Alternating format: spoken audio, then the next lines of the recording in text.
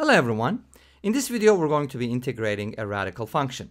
So we have the square root of x squared plus 4x plus 5 dx and we're going to integrate this. Now some functions are easy to integrate such as cosine x or e to the power x because we know whose derivative is going to give us that function.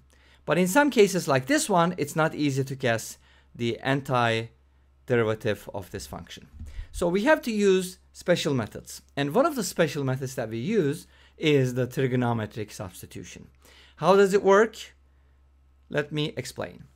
So we can write this as square root of x squared plus 4x plus 4, which is x plus 2 quantity squared, plus 1. My goal is to separate the perfect square here, and then you'll see what I do with that.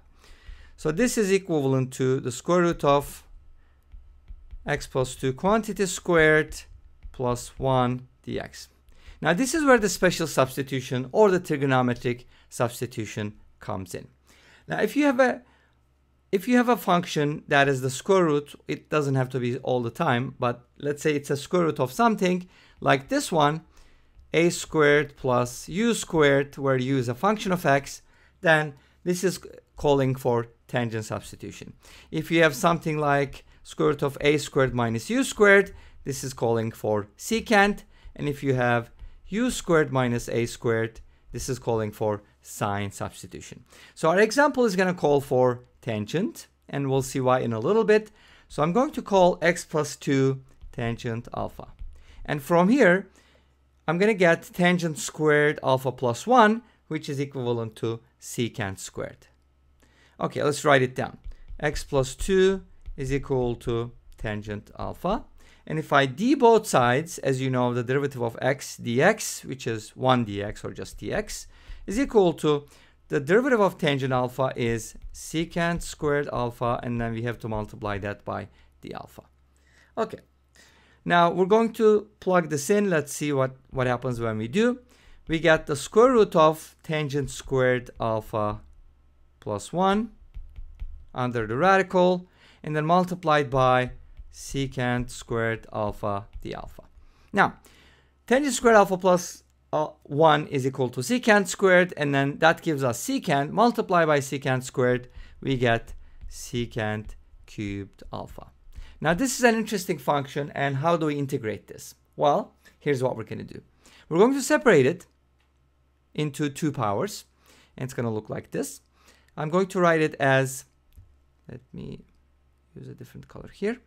Let's write it as secant alpha times secant squared alpha d alpha. So for this integral, I'll, I'll be using something called integration by parts.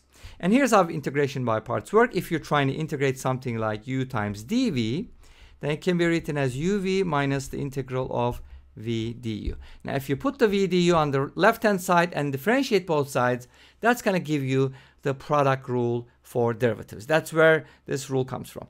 So how do you pick which one is u, which one is dv? A lot of times we have to start by picking the dv and dv is usually something that is easy to integrate.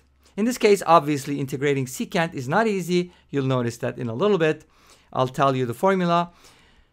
So secant squared is a better candidate for dv.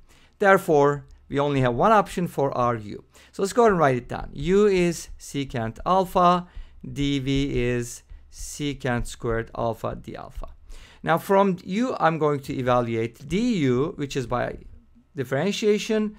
So the derivative of secant alpha is secant alpha tangent alpha d alpha. That's kind of like an interesting derivative because you can write secant alpha as cosine alpha to the power negative 1 and then use the power rule. That's what you get. From dv to find v, you have to use integration and the integral of secant squared is just going to be tangent alpha. In this case, I'm not adding the constant. i will do it at the end. So now our formula tells us that we're supposed to multiply these functions and then subtract the product of these two functions. So we're going to have a minus sign here. So our integral, which is secant cubed alpha d alpha, is going to equal secant alpha tangent alpha minus the integral of now. I'm going to multiply secant tangent, secant times tangent by tangent. So that's going to give me secant times tangent squared. So now this is also a tough integral. It's not very easy to integrate right away because there's no you know clear-cut formula for this. But here's what we can do. We're going to be using a trick, and this trick is actually very common. If you have tangent squared as part of your integrand, then it might make sense to replace it with secant squared alpha minus 1 because secant squared is equal to 1 plus tangent squared. We are allowed to do this. And why do we do that? You'll see in a little bit. That's going to help us.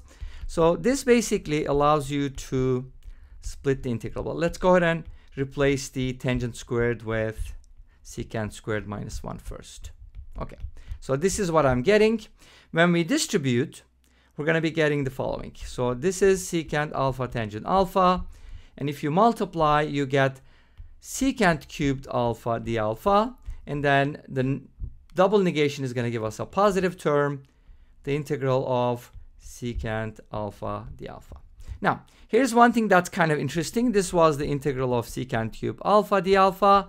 And we got that integral, the same integral again but with a negative 1 coefficient. So what we're going to do is we're going to put these two together by way of addition. So let's go ahead. Okay, the battery is dying, but we'll make it.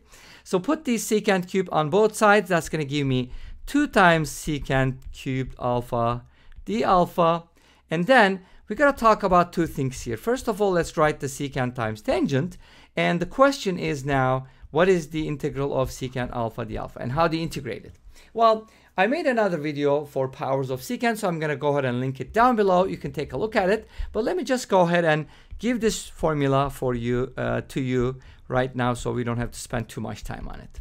But the integral of tangent, um, I mean secant alpha, is equal to ln of absolute value of secant alpha plus tangent alpha.